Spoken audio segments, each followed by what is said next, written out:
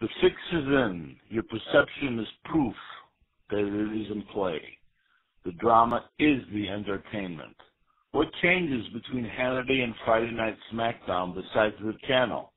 Any more word salad just hides the obvious by design.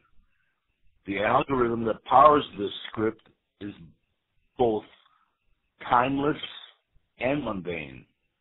You are both in control and out of it. Your personal perception is the same as your personal prison. We still have to serve a life sentence with no parole. Change the channel or turn it off. Thanks to word salad and the power of radio resource management, there is no escape because there is no place to go. You still are hearing this between your own ears.